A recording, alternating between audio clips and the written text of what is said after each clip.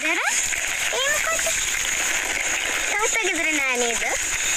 නෑ. ඒකනේ. තාත්තා යන්න ගිහිල්ලා නේද? අම්මා කිව්වා. ඒක හැබැයි අයියෝ එහෙම කියන්නේ තාත්තා ගෙදර තියෙන්නේ මෙහෙනේ. මම නයාගේ පුතා. එයා මෙහෙ එන්න ඕනේනේ වෙන කොහේ යන්නද?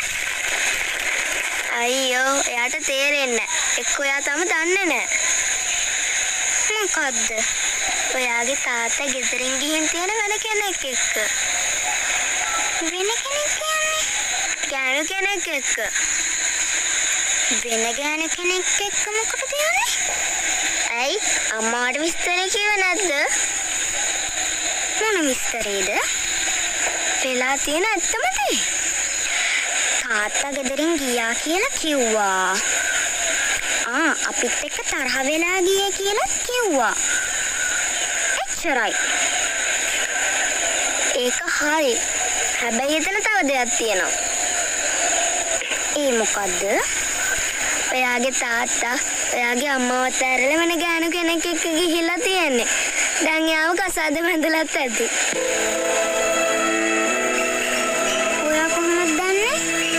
අපේ අම්මයි තාත්තයි කතා වුණා මට ඇහුණා.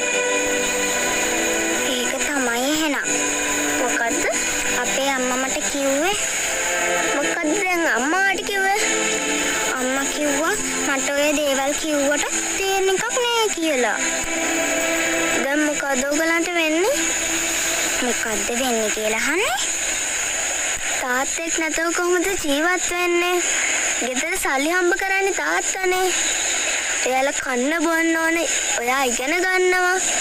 තව ගෙදර කොච්චර වේදම් තියනවද? අනේ මන්දා මට තේරෙන්නේ නැහැ. පව්වනේ. මට ගැන හරි දුකයි.